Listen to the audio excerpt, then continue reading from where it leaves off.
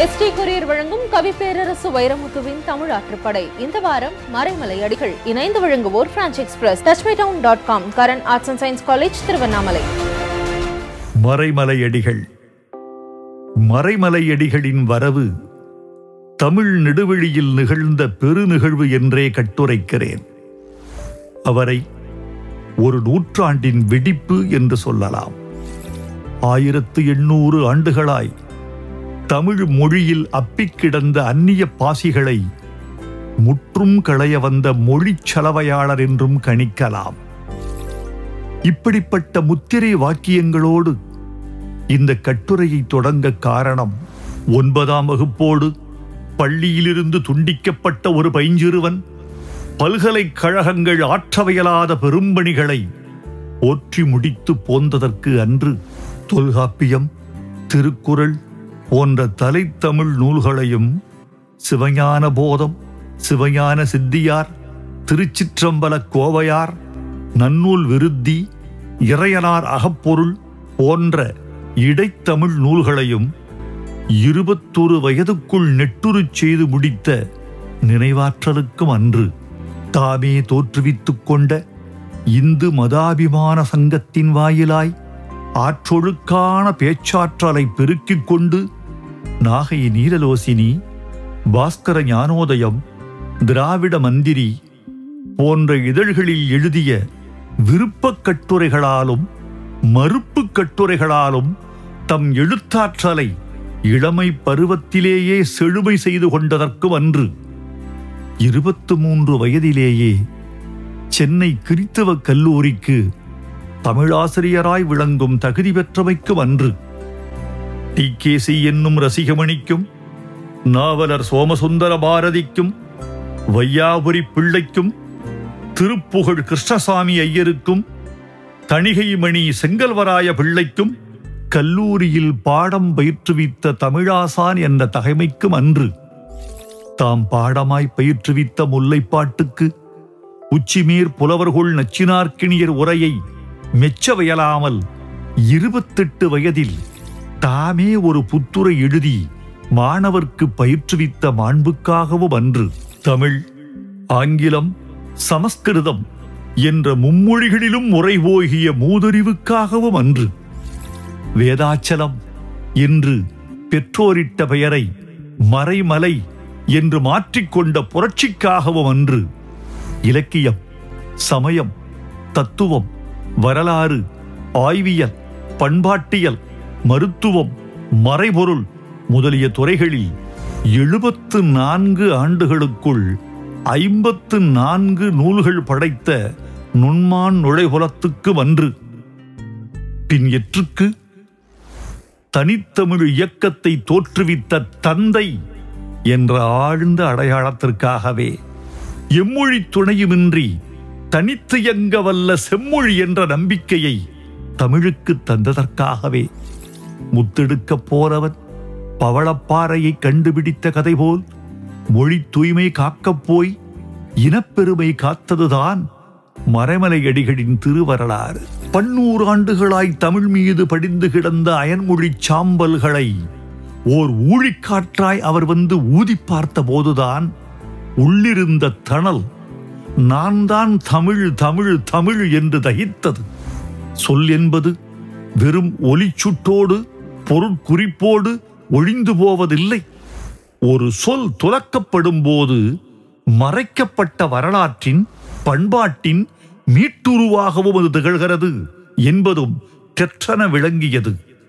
வேதாரண்யம் என்று சுட்டும்போது அந்த ஊரின் வயது வரலாறு பண்பாடு என்ற மூன்றும் நமக்கு முற்றும் விளங்கவில்லை.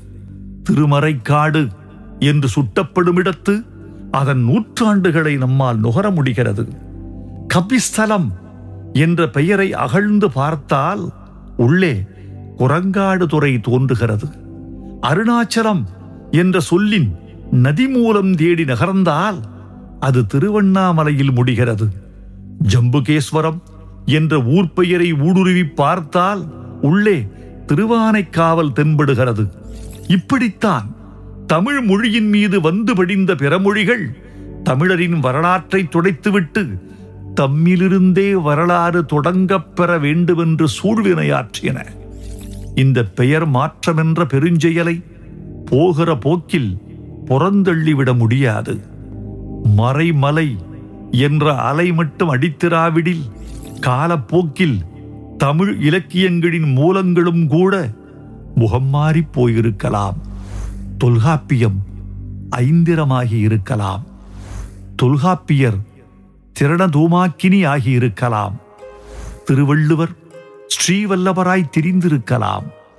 தமிழ்நாடு என்பது வட இந்தியாவின் தென் துண்டு என்று வரலாறு வளைக்கப்பட்டிருக்கலாம். சொல்லில் என்ன இருக்கிறது என்று சொல்வார்க்கு ஒன்று சொல்ல வேண்டும். ராமசாமி ராமசுவாமி என்ற பெயர்களின் எழுத்து மாற்றத்தால் ஒருவன் தன் சொத்துக்களை இழக்கிற போது அறிவான் பெயரில் என்ன இருக்கிறது என்ற பேருண்மையை. மறைமலையடிகளுக்கு எப்படி தோன்றிற்று இந்த தனித்தமிழ் கருத்தியல்? விழுமிய தமிழ் பழநூல்களில் எமது கருத்து ஈர்ப்புண்டு நின்று பயின்ற பயிற்சியினாலேயே செய்யுளும் உரையும் தனிச்செந்தமிழ்நடையில் எழுதும் திறம் எமது இளந்தை பருவத்திலேயே எமக்கு வாய்ப்பதாயிற்று என்று மறைமலையடிகள் முன்மொழிந்திருந்தாலும் அவர்தம் தொடக்க காலத்து உரைநடையில் வட சொற்கள் சிலவும் வாராமல் இல்லை. பகுத்துணர்வும் மாதரும் என்ற கட்டுரையில் பகுத்துணர்ச்சியில் சிறந்த ஜேம்ஸ் வாட் என்னும் துறைமகன் என்றும் தனித்தமிழ் மாட்சி என்ற கட்டுரையில் ஆங்கிலத்தில் வல்ல நல்லிசை புலவர்களான ஷேக்ஸ்பியர் ஷெல்லி முதலியோர் என்றும் வடசொற்கிழவி வடவெழுத்து ஒரி எழுத்தொடு புணர்க்காமல் எழுதியிருக்கிறார். காளிதாசனின் சாகுந்தலத்தை மொழிபெயர்த்த காலையிலும் துஷியந்தன் என்றும் விதூஷகன் என்றும் அப்சரஸ் என்றும் அதனதன் ஒலி வழியேதான் இயங்கியிருக்கிறார். தனித்தமிழ் ஊற்று எப்போது வெடித்து வீறிட்டது என்பதற்கு சுவையான நிகழ்வொன்று சுட்டப் பெறுகிறது அவரது வாழ்வில். அந்திக்கதிரவன் மண்ணை பொன் செய்யும் ஒரு மாலை பொழுதில் வீட்டு முற்றத்தின் வெளிச்சோலையில் கலைவையில் தெளிவும் கட்டுரை வன்மையும் கொண்ட தம் நிறை திருமகள் நீலாம்பிகையோடு உலாவிய காலையில் ஒரு திருப்பாட்டுப்பாடு திருமகளே என்று கலைக்கட்டளையிடுகிறார் தமிழ் தந்தை. வள்ளலார் பாட்டுக்கு இசை கூட்டுகிறார் நீலாம்பிகை. பெற்ற தாய்தனை மகமறந்தாலும் பிள்ளையை பெருதாய் மறந்தாலும் உற்ற தேகத்தை உயிர் மறந்தாலும் உயிரை மேவிய உடல் மறந்தாலும் நமச்சிவாயத்தை நான் மறவேனே. இந்த பாடலை கண்மூடி உயிர் திறந்து உள்வாங்கிக் கொண்டிருந்த அடிகளாரின் நெஞ்சில் ஆழப் பாய்ந்ததொரு மின்னல். நீலா இப்பாடலில் தேகம் என்றொரு வடசொல் வந்துள்ளது. அவ்வொன்றையும் நீக்கி அவ்விடத்தில் யாக்கை என்னும் தமிழ்ச்சொல் பெய்யப்பெற்றிருக்குமானால் இச்செய்யுளின் ஓசை இன்பம் எவ்வளவோ மேம்பட்டதாக இருந்திருக்கும். பிறமொழிச் சொற்கள் கலப்பதால் தமிழின் இனிமை குறைகின்றது. அன்றியும் நாளடைவில் தமிழில் கலந்த பிறமொழிச் சொற்கள் நிலை பெற்று அச்சொற்களுக்கு நேரே வழங்கி வந்த நம்மருமை தமிழ்ச் சொற்கள் மறைந்து விடுகின்றன என்றார். அந்த நொடியில் உடைந்து சிதறியது ஆயிரக்கணக்கான ஆண்டுகளாய் தமிழை அழுத்திக் கிடந்த அயற்பாறை. அன்று முதல் மறைமலையடிகளின் வாழ்வும் வாசிப்பும் மீள்பார்வைக்குள்ளாயின. தம் எழுத்திலும் பேச்சிலும் அயற்சொல் விரவாத தனித்தமிழையே வாழ்நாள் முழுவதும் வழங்குவதென்று உறுதி கொண்ட மறைமலையார் தாம் அவ்வண்ணமே வாழ்ந்ததன்றி தமிழர்களையும் அவ்வண்ணமே பயிற்றுவித்தார். எழுத்தெண்ணி பயின்றவர் என்பது ஆழங்காற்பட்ட கல்வியாளர் ஒருவர் அடையும் அதிகப்படியான அடைமொழியாகும். மற்றவர்க்கு அது பொருந்துமோ? இல்லையோ? அடிகளார்க்கு மட்டும் அப்படியே பொருந்தும். பன்னிரண்டு நூற்பாக்களையும் நாற்பத்தொரு வரிகளையும் இருநூற்று பதினாறு சொற்களையும் அறுநூற்று இருபத்து நான்கு எழுத்துக்களையும் கொண்டது சிவஞான போதம் என்று கணக்கிட்டு எண்ணித் துணிக கருமம் என்ற குரலுக்கு மற்றுமொரு பொருளாய் விளங்கியவர் மறைமலையடிகளார். சைவப் பொருளாய்ந்த இந்த பெரும் பயிற்சிதான் முல்லைப்பாட்டையும் எண்ணிக் கற்கும் எண்ணம் தந்தது. நூற்று மூன்று அடிகளையும் ஐநூறு சொற்களையும் கொண்ட முல்லைப்பாட்டில் ஒன்பது மட்டுமே வடசொற்கள் இரண்டு மட்டுமே திசை சொற்கள் என்று ஆராய்ந்து அறிவித்த அரியர் பெருமான் முல்லைப்பாட்டில் இரண்டே விழுக்காடுதான் பிறமொழி சொற்கள் என்று அறுதியிட்டு உறுதி செய்தார். ஆனால் இரண்டாயிரத்து எண்ணூற்று பத்து முதன்மை சொற்கள் கொண்ட திருவாசகத்தில் முன்னூற்று எழுபத்து மூன்று விடசொற்களை ஆராய்ந்து கண்ட அடிகளார். திருவாசகத்தில் ஏழு முதல் எட்டு விழுக்காட்டு வட சொற்கள் நின்று நிலைத்திருப்பதை கண்டு சொன்னார். தனித்தமிழ் எண்ணம் தலைகெடுத்த பிறகு தாம் எழுதிய பழைய நூல்களிலும் அயன்மொழி சொற்களை களைய வேண்டுமென்று கட்டளையிட்டுக் கொண்டார். முல்லைப்பாட்டு ஆராய்ச்சி உரையின் முதற் பதிப்புக்கும் நான்காம் பதிப்புக்கும் இருபத்தெட்டு ஆண்டுகால இடைவெளி இருந்தது. நான்காம் பதிப்பின் முகவுரையில் முற்பதிப்புகளில் இடையிடையே விரவியிருந்த சிற்சில வடசொற்களையும் களைந்தெடுத்து இவ்வுரைநடையை சாலவும் தூய தனித்தமிழாக்கி இருக்கின்றோம் என்று எழுதியவரின் ஊட்டம் உணர்தற்குரியது. அதன் பின்னர் அவரது பேச்சு மடைமாற்றம் கண்டது எழுத்து நடைமாற்றம் கொண்டது. இவ்விடத்தில் ஊன்றி உணரத்தக்கது ஒன்றுண்டு. தனித்தமிழ் காண வேண்டும் என்ற வெறியில் அவர் ஈரமற்ற இருண்மை மொழியில் எழுதினாரில்லை. கோழி அடைக்கும் கூண்டுக்குள் யானை அடைக்க முயன்றார் போல் பொருந்தாத மொழியில் தம் புலமையை திணித்தாரில்லை. நேற்று புதிதாய் வாங்கிய பொன்னகைகளை ஊர் காண வேண்டுமென்று பொழுது விடிந்ததும் இளவு வீட்டுக்கு அணிந்து செல்லும் ஒரு பணக்கார பாவையைப் போல் தனித்தமிழ் நடை சில விடங்களில் பொருந்தாமற் போய்விடுகிறது. தனித்தமிழ் பேரார்வத்தால் தன் பெயரை பரிதிமார் கலைஞர் என்று மாற்றிக்கொண்ட வீகோ சூரிய நாராயண சாஸ்திரியார் சென்னை தங்கசாலையில் நிகழும் ஒரு காதற் காட்சியை இப்படி கட்டுரைக்கிறார். அவ்வீட்டின் மாடத்தும்பர் ஓர் அறையின் கண்ணே இன்னிசை பாட்டும் மன்னிசை கல்வியும் வல்லளாய் எழிலும் குணமும் ஏய்ந்த பூங்கொம்பராய் மிளிர்தரும் ஓர் இளம்பருவப் பெண் தனது வார்குழல் கோதி முடித்துக் கொண்டு நின்றாள். அப்பொழுதத்து கரிய மாலடைய காளை ஒருவன் விரைந்து அவட்கு பின்புறம் போந்து அவடன் விழிகள் இரண்டையும் தன்னிருகையால் இருகப் புதைத்துக் கொண்டு நின்றான். அண்ணனம் ஒருவன் கண் புதைத்ததுணர்ந்த அந்நங்கை விடுதி விடுதி விடுதி என்று மெல்லென கூயினள். அதற்கவன் இதுவே நந்தமக்கேற்ற நல்ல விடுதி என்று கூறி நகைத்தனன்.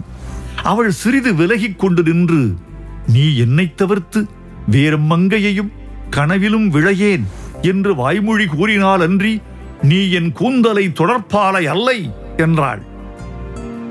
இந்த எழுத்துவவியத்தில் சொற்களெல்லாம் தனித்தமிழ் சொற்களே. நடையும் மேம்பட்டதே. ஆனால் மொழி ஓசையோடு நடைபெறுகிறதன்றி உணர்ச்சியோடு ஒட்டவில்லை. இது ஒரு நெகிழிக்கணி ஆங்கிலத்தில் பிளாஸ்டிக் ஃப்ரூட் பார்க்க அழகு ஆனால் பசிக்கு உதவாது. மறைமலை அடிகள் நடையோ தனித்தமிழை உள்வாங்கி உயிர்ப்போடு நடைபெறும் உணர்ச்சி நடை. புலமையை பின்னிறுத்தி கருத்தை முன்னிறுத்தும் கலை நடை. சாதி வேற்றுமை என்னும் கொடிய தூக்கு கயிறானது. காதல் அன்பின் கழுத்தை இறுக்கிவிட்டது. எந்த பெண்மகளாவது தான் காதலித்த இளைஞனை மணங்கூட இடம்பெறுகின்றனரா? எள்ளளவும் இல்லையே. ஏன்? அவள் கயல் மீனை ஒத்த கண்ணழகியாக இருந்தால் என்ன? கண் குருடான ஒருவனைத் தவிர வேறு மணமகன் தன் இனத்தில் கிடைத்திரனாயின் அவள் அவனையேதான் மணந்து தீரல் வேண்டும். அவள் முத்துக்கோத்தால் என்ன? பல்லழகியாய் இருந்தால் என்ன? தம் பாழும் இனத்தில் ஒரு பொக்கைவாய் கிழவனைத் தவிர வேறு மணமகன் கிடைத்திறனாயின் அவள் அவனையேதான் மணந்து தீரல் வேண்டும். சுடர் கொண்ட சொல்லும் உயிரெள்ளும் பொருளும் உணர்ச்சியும் உண்மையும் கூடி கும்மியடிக்கும் இந்த கொழுந்தமிழ் நடை தமிழ்நாட்டு அரசியலையே புரட்டி போட்ட ஒரு புரட்சிக்கு வித்திட்டது. அடிகளாரின் எழுத்து புலவர்களுக்கு மட்டுமன்று தலைவர்களுக்கும் ஒரு கோட்பாட்டுப் பொருளானது. மறைமலையடிகள் ஊதியத்திற்கு எழுதிய பிழைப்பெழுத்தாளர் அல்லர். எழுதியே பிழைக்கும் காலமும் அதுவன்று. பட்டினப்பாலை ஆராய்ச்சியின் முதற் பதிப்பு முதன் முதல் ஆயிரத்து தொள்ளாயிரத்து ஆறாம் ஆண்டு வெளிவந்தது. அப்போது அதில் இருநூற்று ஐம்பது படிகளே பதிப்பிடப்பட்டன.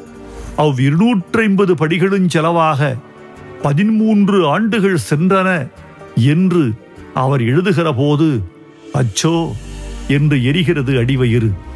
தமிழ் ஆட்சி பெறவும் தமிழர் மீட்சி பெறவுமே அவர் எழுத்தும் பேச்சும் மூச்சுள்ளவரை இயங்கின என்று உணர முடிகிறது.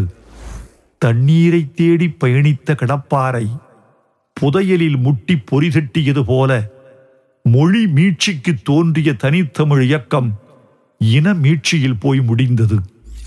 திராவிட இயக்கத்தை கொழுந்துவிட்டு எரியச் செய்த கொள்கைகளுள் ஒரு பாதி இனம் மறுபாதி மொழி. அந்த மொழிக் கொள்கை மறைமலையடிகளின் மூளை குழந்தை என்பதை மறைக்கவோ மறுக்கவோ இயலாது. ஒருவரை பாராட்டுவதில் பணத்தை விட சிக்கனமாய் சொற்களை பயன்படுத்துகிற பெரியார் மறைமலையடிகளை தன் கரமென்று சொல்லியிருக்கிறார். மறைமலையடிகளும் எம்மல் பிள்ளையும் எனக்கு வலக்கையும் இடக்கையும் போன்றவர்கள். எனக்கு பகுத்தறிவு பாதையில் ஏதேனும் ஐயம் உண்டாகும் போதெல்லாம் அவர்களிடமே தீர்த்துக் கொள்வேன். பெரியாரின் இந்த கூற்றை நான் பெரிதினும் பெரிதாய் கருதுகிறேன். தனித்தமிழ் என்ற கருத்தியலை கண்டறிந்ததோடு நின்றிருந்தால் மறைமலையடிகளுக்கு இந்த மாண்பு இருந்திருக்காது. தம் செம்மாந்த புலமையால் அதை செயற்படுத்தி நிறுவனமாக்கி நிலைப்படுத்தியதே அவரது மாட்சிக்கு சாட்சி. அவர் பெற்றிருந்த மும்மொழி புலமை என்ற பெருந்தகுதி அவர் கொண்ட கொள்கையை அறிவியல் அடிப்படையில் நிறுவி முடிக்க பெருந்துணை புரிந்தது. ஒரு மொழியை ஊடுருத்து பிற சொற்கள் உள் நுழைவது எதனால் நேர்கிறது? ஓர் இனத்தார் தம் மொழி வெளி கடந்து பிற வெளி புகுந்தாலும் பிற மொழி பேசுவார்.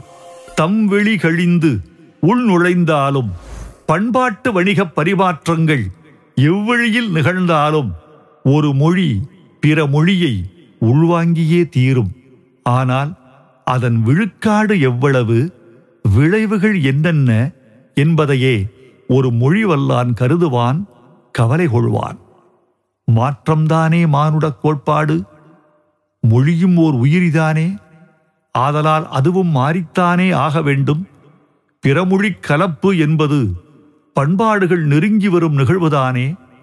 உலகம் உருண்டையாகவும் உலகப் பண்பாடு தட்டையாகவும் விளங்கும் மானுடச் சூழலில் பிறமொழிக் கலப்பால் ஒரு மொழி செழுமையுறும்தானே என்று எதிர்மறை சிந்தனைகளை உண்மை போல் தோற்றுவிப்பார் சில உரைவல்லார் இந்த தவறான கருத்தை உடைத்தெறிய வேண்டும். அதற்கு தருக்க அறிவு வேண்டும். கொண்ட கொள்கையை நிறுவத்தக்க தருக்க அறிவு வாய்க்கப் பெறாததால் தமிழர்கள் தங்கள் நீண்ட வரலாற்றில் நிறைய இழந்திருக்கிறார்கள். மறைமலையடிகளார் தமிழுக்கு வாய்த்த ஒரு தர்க்கப் பேரறிஞர் தனித்தமிழ் மாட்சி என்னும் கட்டுரையில் அவர் எழுதுகிறார் மாறுதல் என்னும் சொல்லால் உணர்த்தப்படும் பொருள் என்னை ஒன்று தந்தன்மை திரிந்து மற்றொன்று ஆதலா அல்லது அது தன் இயல்புக்கு இயலாதவற்றோடு கலக்கப் பெற்று தன்னிலை குறைதலா அல்லது தன்னிலைக்கு ஏற்றவாறு பிறவற்றின் உதவியால் தானே வரவர வளர்ந்து திரிபுறுதலா எனின் இம்மூன்றும் அம்மாறுதல் என்னும் சொல்லுக்கு பொருளேயாம். முதலிற் சொன்ன பொருளின்படி தவளை இனத்திற் சேர்ந்த சில சிற்றுயிர்களும் பட்டுப்பூச்சி முதலியனவும் முதலில் ஒரு வகை உருவத்திலிருந்து பிறகு அவ்வுரு முழுதும் திரிந்து தவளையாகவும் பட்டுப்பூச்சி முதலியனவாகவும் மாறுகின்றன.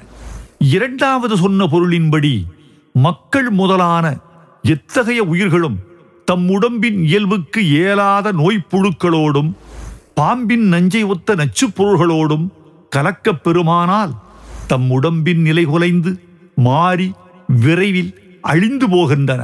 இனி மூன்றாவது சொன்ன பொருளின்படி உலகத்தில் உள்ள எல்லா உயிர்களும் தத்தம் நிலைக்கு ஒத்த பொருள்களின் சேர்க்கையால் தமது நிலை கெடாமலே வளர்ந்து திரிவெய்தி வருகின்றன. தம் நிலை குலைந்து மாறுதலாகிய வேண்டாததொன்றை கடைப்பிடியாய் பிடித்துக்கொண்டு அதன்படி நமது அருமை செந்தமிழ் மொழியும் தனது தூய நிலை குலைந்து மாறுதல் அடைய வேண்டுமென்று உரைப்பது அறிவுடையோரால் ஏற்றுக்கொடற்பாலதாமோ? தவிர்க்க முடியாத இந்த தர்க்கம் தமிழ் பகைவர்களை கட்டி போட்டது. பல்வேறு தமிழ் ஆளுமைகளின் கூட்டு கலவை மறைமலையடிகளார். பரிமீரழகரின் மொழி ஒழுங்கும் நக்கீரரின் தருக்கச் செறிவும் சேனாவரையரின் திட்ப நுட்பமும் சிவஞான முனிவரின் மறுப்புரை மாட்சியும் கூடிக் கலந்து கொழித்த மொழியே மறைமலையாரின் உரைநடையாகும் என்று அறிஞர் கூட்டம் அறுதியிடுகிறது. பெய்த மழையின் பேரீரம் வெவ்வேறு தாவரங்களில் காலங்கடந்தும் காட்சிப்படுவது போல் மறைமலையடிகள் அன்று கொளுத்திப் போட்ட நெருப்புதான் இன்றளவும் வெவ்வேறு திரிகளில் விளக்குகளாய் விளக்கமுற நிற்கிறது. முதலில் அது ஊடக மொழியை உருமாற்றி போட்டது. சில ஏடுகள் ஜல சப்ளை ரத்து என்று தலைப்பிட்டுக் கொண்டிருந்தன. இதனுள் ஜலம் சமஸ்கிருதம் சப்ளை ஆங்கிலம் ரத்து உருது இது தண்ணீர் வரத்து நிறுத்தம் என்று தமிழாகியது மறைமலையடிகளால். திராவிட இயக்க மேடைகளும் மறைமலையடிகளின் தாக்கத்தால் ஆக்கமுற்றன. அக்ராசனர் தலைவரானார் மகாஜனங்கள் பொதுமக்களாகினர் பிரேரணை தீர்மானமாயிற்று நமஸ்காரம் வணக்கமாயிற்று. மாநில அலுவல் மொழியாக தமிழ் ஆவதற்கு ஒரே வழி ஆங்கிலத்தை எழுப்பிவிட்டு தமிழ் ஏறி அமர்வதுதான். முனிசிபாலிட்டி நகராட்சி ஆயிற்று கார்ப்பரேஷன் மாநகராட்சி ஆயிற்று கமிஷனர் ஆணையாளரானார் ஜிஓ அரசாணையானது சர்க்குலர் சுற்றறிக்கையானது மறைமலையடிகளின் நீண்டு விழுந்த நிழல்களே இவையெல்லாம். அறிஞர் அண்ணா இந்த மண்ணுக்கு தமிழ்நாடு என்று பெயர் சூட்டியதும் தமிழ்நாட்டு தலைநகரத்திற்கு கலைஞர் சென்னை என்று பெயர் சூட்டியதும் மறைமலை அடிகளால் நேர்ந்த மங்களங்களாகும். மாறிவரும் உலகச் சூழலில் முற்றிலும் தனித்தமிழால் இயங்க வியலாது என்பதையும் அடிகளார் அறிவார். அதற்கு ஒரு புறநடையும் வழங்கியிருக்கிறார். இன்றியமையாய் இடங்களில் வட சொற்கள் சிலவற்றை எடுத்தாளுதல் வலுவென்று யாங்கூறவில்லை. பொருள்களை குறிப்பிடுவதற்கு ஏராளமான தமிழ்ச் சொற்கள் இருக்கையில் அவற்றை விடுத்து பிறவற்றை புகுத்தலையே பெரியதொரு குற்றமாக நினைக்கின்றோம் என்று தனித்தமிழ் மாட்சியில் எழுதுகிற அடிகளார் தாம் உள்ளூர் தமிழர் மட்டுமல்லர் உலக மானுடன் என்பதை உறுதி செய்கிறார். மறைமலையடிகளின் தேவை இன்னும் தீர்ந்துவிடவில்லை. உலகமயமாதல் என்ற ஊழியலை உலகத்தின் கரைகளிலெல்லாம் விசிறியடிக்கும் இந்த வேளையில்தான் தூணைப் போல் தேவைப்படுகிறது மறைமலையடிகள் துணை. தனித்தமிழ் இயக்கத்தின் ஊற்று கண்களை தமிழர்கள் காலந்தோறும் காத்து வர வேண்டும். தமிழ் மொழியின் பெயர் சொற்களெல்லாம் தமிழ்தானா? என்ற வினாவுக்கு முன்னால் தமிழ் இன மாந்தர்களின் பெயர்களெல்லாம் தமிழ்தானா என்று ஓர் எரியும் வினாவோடு நம்மை எதிர்கொள்கிறது நிகழ்காலம். தமிழ்நாட்டு உழைக்கும் மக்களே தம் பிள்ளைகளுக்கு தமிழ் பெயர் சூட்டி வழி வழியாக வழங்கினார்கள். திராவிட இயக்க எழுச்சியில் தனித்தமிழ் பெயர்கள் வீடுகள் தோறும் விளங்கின. தற்காலத்தில் பொருளறியா ஓசைகளும் கிரந்த எழுத்துக்களின்றி இயங்க முடியாத ஒலிக்கூட்டமும் தமிழர்களின் பெயர்களாக துலங்கத் தொடங்கியிருப்பது இன வரலாற்றுக்கு எதிர்மறையாகும். ஒலியும் பொருளும் அழகும் கொண்ட நற்றமிழ் பெயர்களை நாடுதோறும் விதைக்க வேண்டும். அனிச்சம் ஆதிரை இன்பா ஈழச்செல்வி எழிலி ஏந்திழை உறங்காமலர் ஊஞ்சல் நிலா ஐம்பொன் ஒண்டொடி ஓவியா என்பன போன்று பெண்பார் பிள்ளைகளுக்கும் அன்பன் ஆதவன் இனியன் ஈழவன் என்னவன் ஏரழகன் உறங்கா புலி ஊரன் ஐயன் ஒப்பிலான் ஓவியன் என்பன போன்று ஆண்பார் பிள்ளைகளுக்கும் பெயர் சூட்டினால் நாளடைவில் அந்த ஓசை மீதே நமக்கு ஆசை வரும். உலகச் சந்தையை வென்றெடுக்க வேண்டுமென்ற வேட்கையில் உள்ளூர் அடையாளங்களை தொலைத்துவிடக் கூடாது. முத்து குளிக்கும் அவசரத்தில் மூச்சை இழந்துவிடக் கூடாதல்லவா? தமிழர்கள் அனைவரும் தமிழ்ப்பெயர் சூடிக்கொண்டால் பள்ளி கல்லூரி ஆவணங்களில் அடையாள அட்டைகளில் குடும்ப கோப்புகளில் வங்கிகளில் அரசு தனியார் அலுவலகங்களில் நீதிமன்றங்களில் காவல் நிலையங்களில் ஊடகங்களில் பயணங்களில் உலக வழக்கில் எட்டு கோடி தமிழ் பெயர்கள் எல்லா நாட்களிலும் புழங்கப்பெறும் அந்த எட்டு கோடி பெயர் சொற்களின் மீது ஒரு மொழி தன்னை ஊன்றி நடக்கும் உறுதி கிட்டும். தமிழர்கள் இப்போது துலங்கும் பெயர்கள் இப்படியே துலங்கட்டும். இனிவரும் தலைமுறைகளுக்கு தமிழ் பெயர்களே விளங்கட்டும். மீண்டும் இயற்கைக்கு திரும்ப வேண்டும் என்று சுற்றுச்சூழல் சொல்கிறது. மீண்டும் கூட்டு குடும்பத்திற்கு திரும்ப வேண்டும் என்று மானுடவியல் பரிந்துரைக்கிறது. தாய்மொழி கல்விக்கே திரும்ப வேண்டும் என்று உலகக் கல்விக் கொள்கை உறக்க கூவுகிறது. நாமும் திரும்ப வேண்டும். மறைமலைகள் மீண்டும் வேதாச்சலங்களுக்கு திரும்ப வேண்டாம். வேதாச்சலங்கள் மறைமலைகளுக்கு திரும்பட்டும்.